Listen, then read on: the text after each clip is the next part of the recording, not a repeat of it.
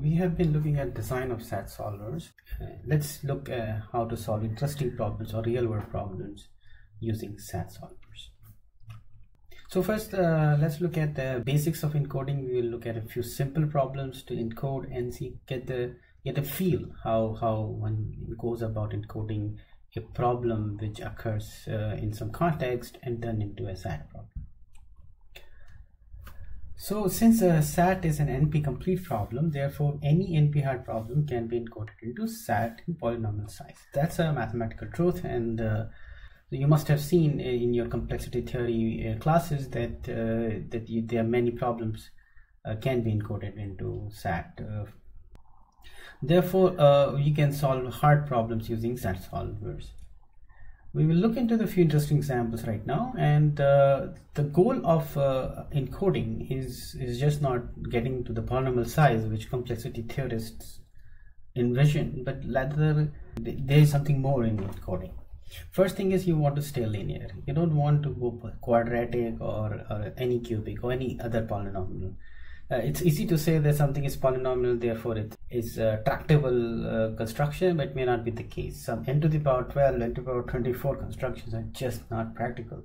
Uh, at best you can handle something n cube or n to the power 4 beyond that is just impossible. So this distinction between polynomial and exponential is uh, theoretical and often not a practical distinction. The practical distinction is something is linear or quadratic or something very high polynomial. uh, so uh, sometimes in our encoding we introduce redundant constraints which are implied by other constraints such that it helps the solver to guide the search. And for example, you know, uh, in the learn clause, uh, you may have seen that all the learn clauses are actually redundant clauses. If you drop them, it doesn't change the set of satisfying assignment. However, they help your solver to guide, to look for, to weed out the bad assignments very quickly. Therefore, you you are encouraged to add redundant constraints, and uh, it it often helps and encoding should be compatible with CDCL. So CDCL has certain nature and it, it, it, it searches the constraint in certain way. So you should encode in a way that, that helps that kind of search. And uh, in uh, you will see in some situations it is uh, helpful for CDCL, in some situations it's not. So uh, we will look into one such a clear example we will present. Encoding of choice is CNF so you may ask why CNF. Okay, so uh, one of the fundamental, one of the basic reason maybe is that most problems show up as a collection of restriction or solutions. So each constraints will say this is not allowed, or that is not allowed, or that is not allowed. And uh, this forms a natural conjunction over some specific condition. And each of these restriction comes in the form of if something is true, then that is true. So, uh, so this naturally has a disjunction and the negation setting here. So it forms a natural CNF formula. Once people start developing SAT solvers, soon they realize that uh, this is a preferred mode of, of, of handling uh, uh, Boolean formulas. So let's look at our first problem. Uh, it's called graph coloring problem. So the problem states that you have a graph which has uh, which is not undirected graph. You have uh, n nodes v1 to vn. It has some edges. Okay? Some and each edge is a pair of nodes. Uh, so if a pair appears uh, in the edge E, then the colors of these two nodes should be different. And you want to color this graph using D colors. So how do you translate such a problem into a SAT problem? The first, the, when you encode a problem into SAT problem, you need to come up with a set of variables that will describe your problem. So what are the Boolean variables involved?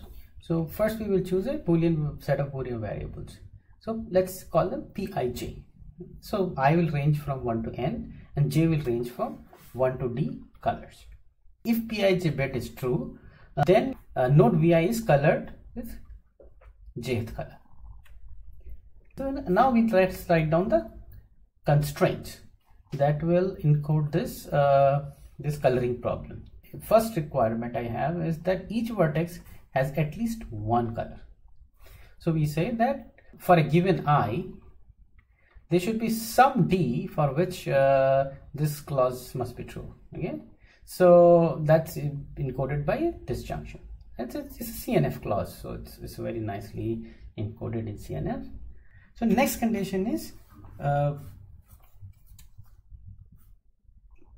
if you have HVI VJ, then you want to make a constraint that the, the same color should not be coloring both node uh, node i and node j. So for each color k uh, you want to have a constraint that pik and pjk cannot be true at the same time. If both are true that means they are they both both nodes are colored using same color which you don't allow uh, one bit to notice is that, that we have not really encoded every vertex has at most one color.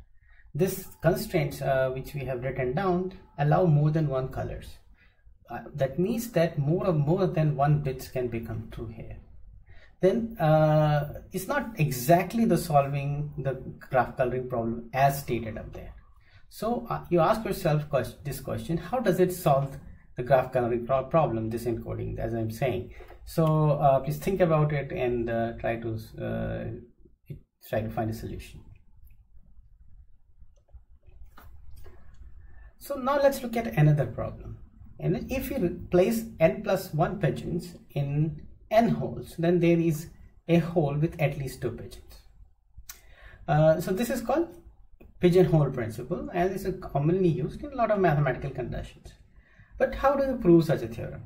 What you can prove is uh, for given fixed n, you can turn into a SAT problem and see if you can unsatisfied with it. So how do you do SAT encoding? Uh, so first you say is that uh, that variables uh, pij says that at ith pigeon uh, is sitting on jth home okay and that is represented by variable pij okay so the what are the clauses each pigeon sits at at least one hole. So pigeon must be sitting somewhere. So for a given i there should be one n for which uh, your pigeon is sitting some hole. The other constraint is there is at most one pigeon in each hole. Okay. So we want to check that if there exists one.